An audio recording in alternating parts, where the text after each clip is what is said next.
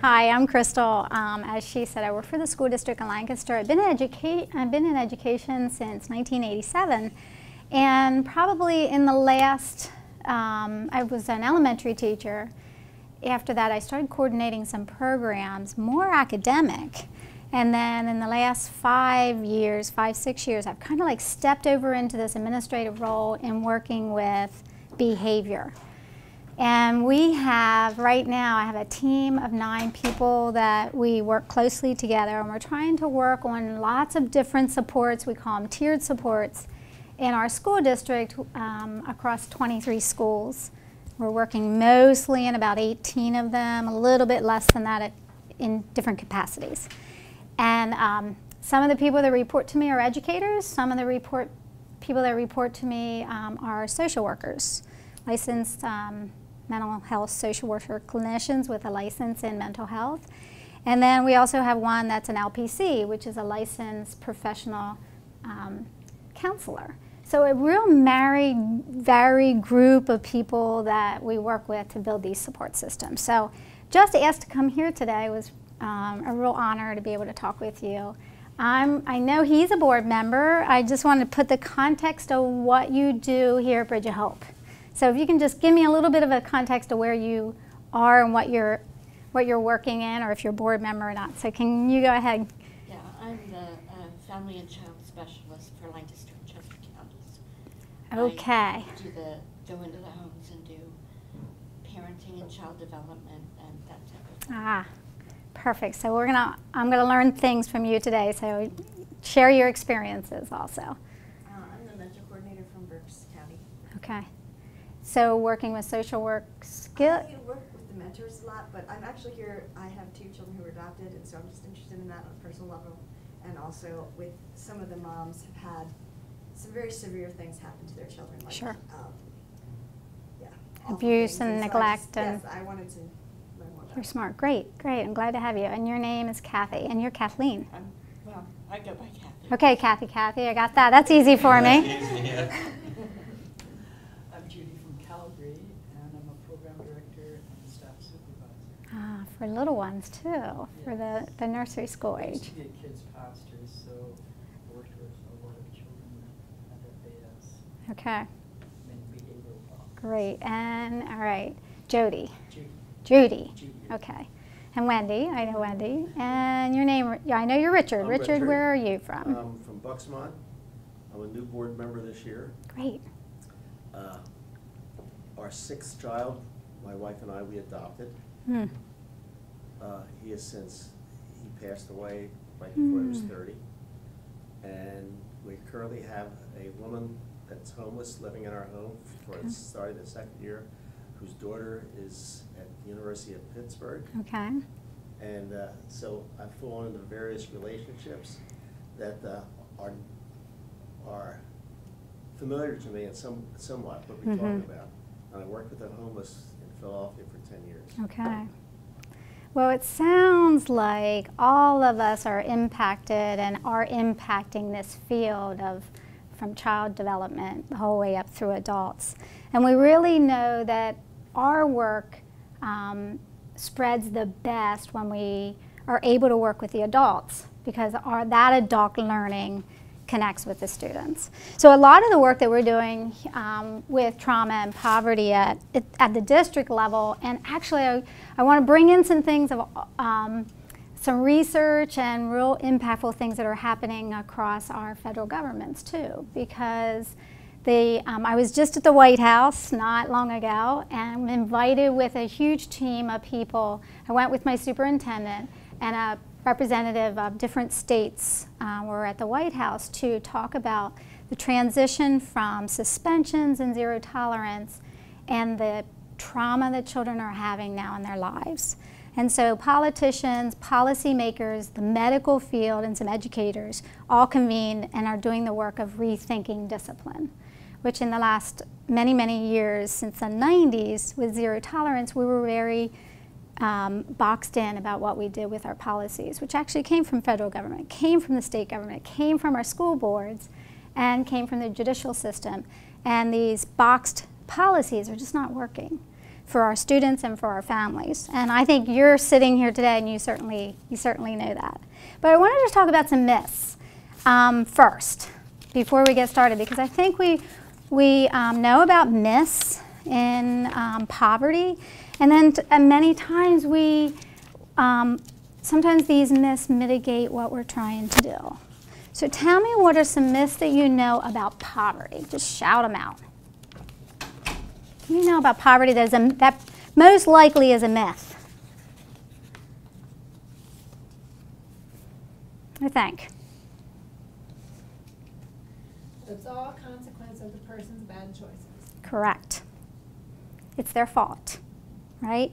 They chose this life. What else? Any other myths? If they really wanted to. Yeah, if they just worked harder by their bootstraps, they'd be way better. And I think that philosophy out in our, you know, in our population mitigates some of the work that you're doing, or the work that Bridge of Hope wants to do, and the work that schools want to do. It's their fault. I missed, missed that one. I missed that. Question about what are the myths about poverty? And what was brought up? Um, one was. Yeah, they don't try hard enough. It's their fault. They don't work hard enough. Um, so, uh, as I begin this, I always want to. I start with just saying that the myths that are out there sometimes are not. Um, they're not true, or they're half true, and sometimes they mitigate the work that we have. So let's continue on. I want to tell you two stories, and. Um, there's a little boy that I've just recently been working on. I bet you might know this boy. His fake name is Tyrone. He's six years old. He's a terror in first grade, complete terror. He pushes, he hits, he bites, he runs out of the room. Um, at home, he's better behaved, but at home, he has a lot of nightmares at night. Um, he fled with his mother and his siblings from a very abusive father. And the schools are putting, uh, in the past, putting suspension in place for him.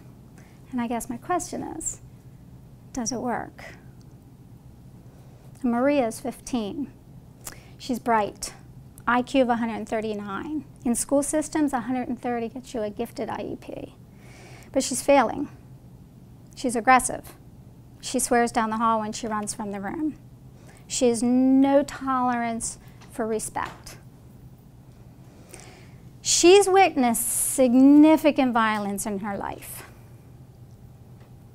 And let me tell you about the soup story with Maria. This is awesome.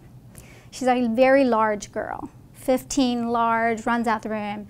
Her counselor's been working with her to do some self regulation about her emotions. When you get this feeling that you're going to explode, and the one question she talks to her a lot about is, you know, she's doing some relaxation, relaxing, relaxation thermometer with her. She's really talking about how she feels right before it happens. I brought some of these in kid language because I know you're probably working more with the younger students. She talks a lot to her about the cognitive model and how when a situation happens and she has this thought and she has an emotion and then she screams and swears and yells. So to, to correct this behavior, has just come back in to hear about what the situation happens and what is her thought process at that moment. So the counselor said to her, you know, what do you love? What do you love? And she goes, you know, I love soup. And she said, oh, okay. She's like, yeah, she's expecting something different. But she said, well, listen, I want you to close your eyes. I want you to think about soup. I want you to think about your favorite soup. And I want you to pull your hands out and hold that bowl in your hands. And she said, now, she said, I want you to sniff. And so she said, put your face right in that bowl and sniff that soup.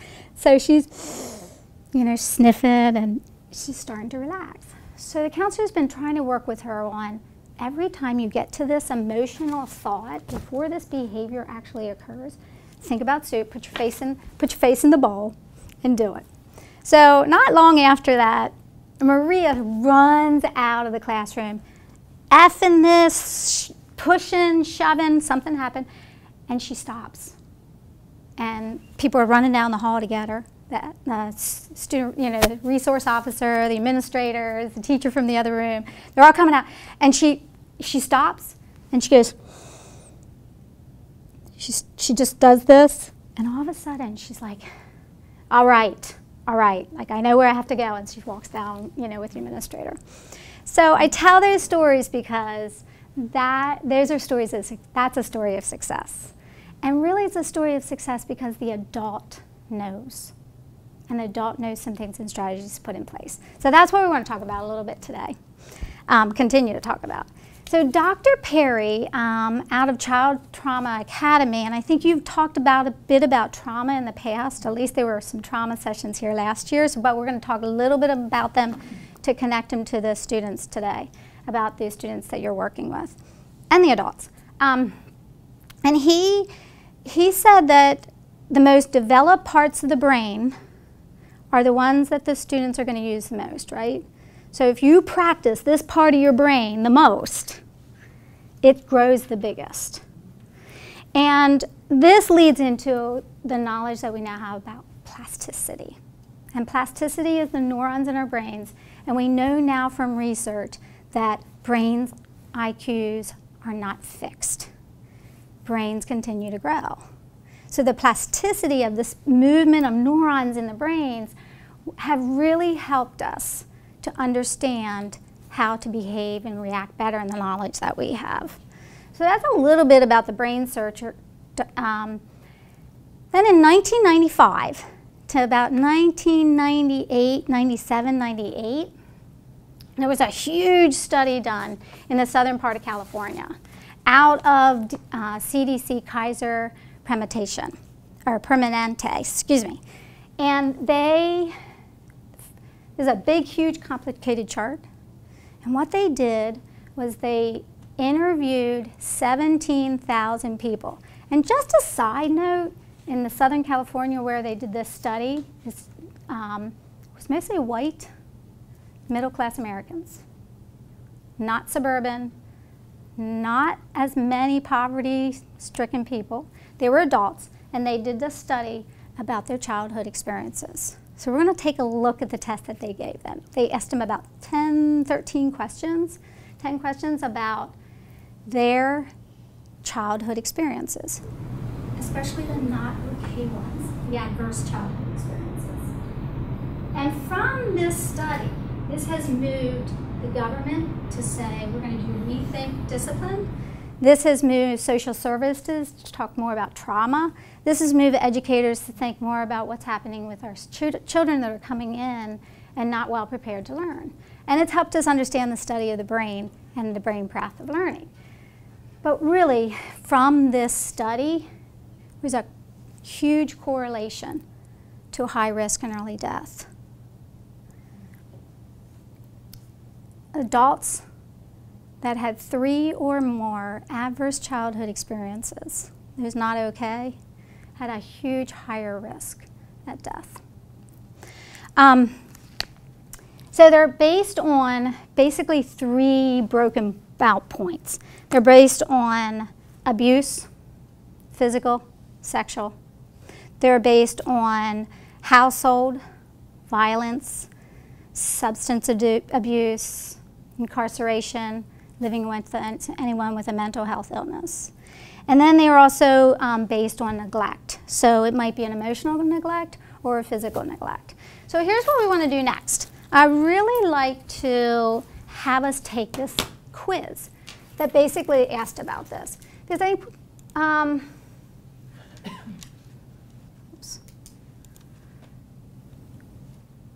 was really asking the question of what your ACE score is. So when we do this among a lot of other people, and especially when we're doing this with training with teachers, because we want to raise awareness as much as we want to raise empathy. Um, and I, many times when we have a huge staff of a diverse population that are listening to this, uh, have these experiences themselves. So even when I think about my family and my extended family, I know there are some answers that we can answer yes to this. So it's a very sensitive thing. So what I'm going to do is I just want you to pull, Kathy, can you just pull out a number? Because there's a number on a penny and it makes it a whole lot of, what number do you have? One. Just one. Okay. So what we'll do is we're going to answer one yes to one of them. So you know you're going to have a low score here, but that'll give us. So here's our here's our quiz. Can you read it, or should I read it out loud? Probably read it, read it out loud. Okay, before your 18th birthday, did a parent or another adult in your household often or very often swear at you, insult you, put you down, or humiliate you? Or act in a way that made you afraid that you might be physically hurt? So let's say no to this one. Afraid that you might be physically hurt? hmm No. Before your 18th birthday, did a parent or other adult in the household often or very often push, grab, slap, or throw something at you? Or ever hit you so hard that you had marks or were injured? No. So you'll answer, this is not your answers, right? But you'll answer yes to one of them. Okay. Okay? You, you don't have to answer for yourself. Just answer yes to one that was on that penny. Before your 18th birthday, did an adult or a person at least five years older than you ever touch or fondle you or, or have you touch their body in a sexual way? Or attempt to actually have an oral, anal, or vaginal intercourse with you? I don't even want to pretend to say yes to that, so I'll say no. You bet. Before your 18th birthday, did you often or very often feel that no one in your family loved you or thought you were important or special? Or your family didn't look out for each other, feel close to each other, or support each other? Yes. Before your 18th birthday, did you often or very often feel that you didn't have enough to eat, had to wear dirty clothes, and had no one to protect you? Or your parents were too drunk or high to take care of you or take, care, take you to the doctor if needed? Before your 18th birthday, was a biological parent ever lost to you through divorce, abandonment, or other reason? Before your 18th birthday, was your mother or stepmother often or very often pushed, grabbed, slapped, or had something thrown at her? Or sometimes often or very often kicked, bitten, hit with a fist, or hit with something hard, or ever repeatedly hit it at least a few minutes, or threatened by a knife or gun? Before your 18th birthday, did you live with anyone who has a was a problem drinker or alcoholic or used drugs? Before your 18th birthday, was a household member depressed or mentally ill, or did a household member attempt suicide?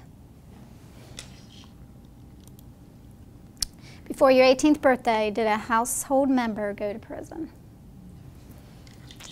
So I, I wanted you to see these ACEs, and we picked out that random number of just putting one. Um, the ACE test that they're using really far reaching now. They used it as a test to begin with. They used it just to be able to um, start to understand childhood experiences before they were 18 with early death risk factors. So they're now medical doctors asking these types of questions to try to determine if you're at high risk. But when I was at um, when I was at the White House, there's now been continued studies from these experiences. And one that really was shocking to me was they've now taken this and had the study done for children under 18 and thousands of children through Dr. Burke, who is from um, uh, University of Connecticut. And she's now determining these environmental factors, because none of them are about who like internally innate. These are about environmental factors for children. And they did the same, um, a, a large scale of a large amount of students. And the students that had less than one ACE in their life, 3% of them had an academic IEP. So they had some learning problems. This, they had another pile. The students had three or more of these experiences that we just went through.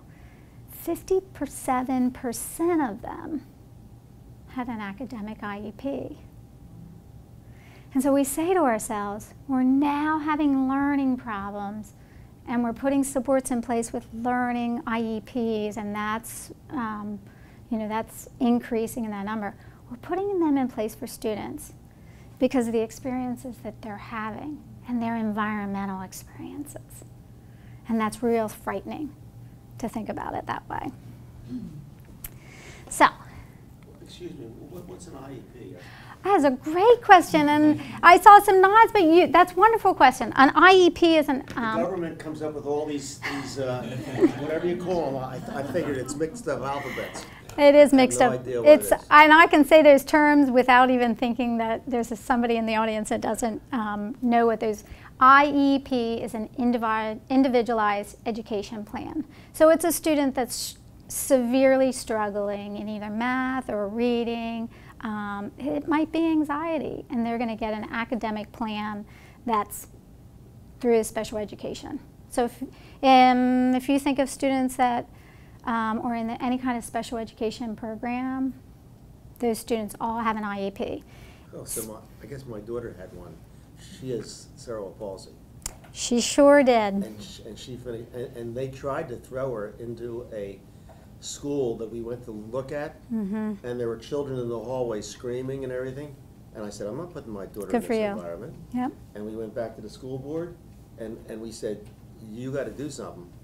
And they put her in normal class, and they had a, they had a tutor, and she went to Bucks County Community College for a term, hmm and they assigned a student there to sit with her in her class, so they would open the books for her and open her Mhm. computer, she was taking a computer thing. Yep. So that's what I, I, I didn't know. And those specific and those specific plans, having someone with her, having someone open her book, someone wheel her down the hallway, was all in her individualized Okay. education plan, in her And- academic And the teacher saw me once when I was coming to pick her up, and she said, I wanna tell you one thing.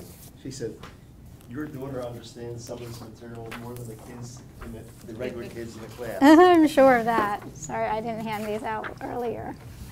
Um, Thank you. you're welcome. Ask, Now, please. I was with the totally, and I didn't even know it. Yes, you certainly were, very intricately. So um, I want to talk to I want to talk to you about the brain's information pathway. Did, just like, do you know about this? Does this look familiar? Does any of this look familiar? It Not does, a little bit? a. Okay, I'm glad to hear that. Um, Judy, I've seen this presentation, um, and now I do this presentation a lot, but I've seen the presentation so many different times, and every time I see it or do it, I kind of get that new understanding. And I don't, if it was a larger group, I'd bring you all up here, but I think I'll just, I'll, I'll hold them up. Um, I want to, this is a, the brain's simplified, because I'm not a neurologist, I'm a doctor, but um, I'm going to pull out the parts of the brain that have to do with learning, and it's very, very simplified in terms that I can understand. Um, so I'm going to have a job for you, Richard, when I ask you to ding this bell. Sometimes you're going to ding, ding it really soft and slow, and the next time I'm going to tell you to go at it, go crazy, okay? Just when we're ready, okay? So here's how the brain learns. Always through this typical process. Not always A to B to C to D, not always exactly this way. Sometimes it's happening at the same time. But these are the things that are happening for everyone to learn. And we know about plasticity that brain continues to learn, always. It is not fixed. We'll talk about that a little bit later. Um, even go into the details of, I, I, of the IQ. You know, um, but the brain's always learning, but there's surges in the brain. The brain surge in utero. That's the most first important time. So it's surging. There's a lot of growth happening in the brain in utero. And then there's another huge surge when the, the brain is developing and surging and really learning 18 months old. So in utero, 18 months, the brain just goes crazy again and starts surging and um, growing. Then there's another one. And it's a little bit different from girls to boys. Girls are at 11 years old, their brains are surging and growing. Boys are around 12 to 12 and a half. So when we talk about our school-aged children, that's a really hard time when they're junior high kids. Their brains are the most plastic at that time. And then there's one more time that their brains, brains always growing, but these are these big, huge splurge times. And you'd be surprised when that is. Can you guess? When you retire. Not a bad idea. What do you think? When's the brain one last time that's a big, huge splurge time? I think. It's, it's older than 12. Eighteen? 18. 20, somewhere in there. Yeah, it's it's actually really splurging in the early 20s. So some maybe maybe some of the girls are happening more at 18, but that 20, 22 year old time, the brain is growing again. So when we work with our young moms and our young dads, and probably the young people that you're working with in through Bridge of Hope, this is a time where this part of the brain, the brain is really, really growing. And they also say it's growing and pruning. So you're pruning along the way all these times, right? You're you're cutting off things so that other areas grow. When you think about a when you think about growing a tree and pruning it in utero, what's pruning it? What's happening at 18 months that's growing it or pruning it? So it's always an interesting fact to think about plasticity, and I think we know a lot of this about the research, brain research. Let me talk about the brain's pathway. So there's stimulus. Stimulus are, they say millions of things are happening in a minute. I hear noise. It's a little, I'm hot, right? You are either hungry or full. There's all this stimuli through all your senses, what you're thinking, all the time. So you get hit with a stimulus. Let's just say for now, for the brain pathway, it's a new learning. So it might be this activity today you're learning about the brain. It might be for a student a vocabulary word. It might be for an 18 month old that's learning to navigate walking and hills. It might be learning their name. It might be being able to build blocks, fine motor skills. So you have a stimulus, a learning piece. Then it goes through the part of the brain that's called the reticular activating system. And we just call it RAS because it's just easier to say. And you don't have to remember these words, but really the RAS is a filter. And the filter is what you're having to think about. You have to fil- it has to filter somehow. You can't take this million and filter it. You can't do it all. So it filters what's most important for you. If you can filter it by positive thoughts, that's a great way to filter. We'll talk a little bit about that yet when we come through here yet a little bit further. That positive thought. This is where the whole um, you've heard about the journals, the positive journals, where you write a positive thing out down every day. If you're if you have a hard time, if you're a negative person, you might need to filter. You're starting to filter your brain by saying, "I'm going to give three things that are positive every day." Or this is when you're saying, "You know what? I can get out of bed and go to work today." This is when um, the teacher in a classroom connects it to something that they, um, they've done in their personal experiences. They're filtering it through the RAS. These two are kind of, I call them brothers of different mothers. They're kind of connected. Brothers and sisters of different mothers. And here's why. The thalamus is the map. After you filter, it goes through the thalamus, and the thalamus routes it into its place that it needs to go. So you have the learning piece. If it's a math thing that you're learning, it's going to kind of go to that part of the brain. If it's an emotional thing, it's going to go to the emotional part of the brain. If it needs to be in higher thinking, it's going to go to that part of the brain. So the thalamus starts to route it where it needs to go. Very important for learning because you need to put it in the right place. Well, the amygdala is the emotional part. And every single learning that you have that gets to finally where it needs to be in your brain, every single thing. So I want you to ding that once. Little emotional tag. is great. Tiny, small emotional tag. This is so important to learn, and we often forget the emotional tag. But let me ask you a question. What'd you have last Tuesday for lunch? Chicken salad. Why? Why'd you have a chicken salad? How do you remember that?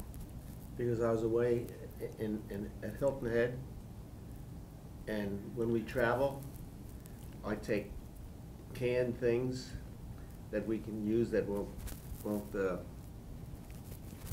Spoil. spoil, okay, and, Emotional tag, right? okay, that's what, the, the spoiling Nope. or the eating? He knew where he was, right? He had he he was somewhere. He always takes that same thing. Has a little emotional tag there. Not only it's just repetitive, that helps also with emotional tags, but it's repetitive. And you were away in North Carolina. There had to be emotional tag there. South Carolina. South Carolina. What did you have? One, two. Corn noodle soup. Wha how do you know it? I made a pot over the weekend and ate it all week long. Okay, so an emotional tag, it was repetitive, right? But you also made it over the weekend. You were relaxed, you were at home, right? Anybody else not know what they had for lunch last Tuesday? Wendy? No. No emotional tag to it. And you shouldn't remember it if it didn't have an emotion, and if you don't need to, but if it's part of the learning process, if you want your parents that you're working with, these mothers, to be able to learn something, it has to have an emotional tag. But it should be just a small one, because we're going to talk about a large one in a minute. After that, after it has an emotional tag and is routed into the right place, it goes to the hippocampus. And this is back here in the brain, and the hippocampus is the start of the folders of short term to long term memory. So you have to have short term, and if you can repeat it and repeat it and have good connection to it and continue to learn it and take all the barriers away, it ends up in the cortex. We're going to talk a little bit about the upstairs part of the brain and the downstairs part of the brain. But the upstairs part of the brain is that prefrontal cortex where it controls a lot of our emotional pieces. But if this is the natural pathway for information.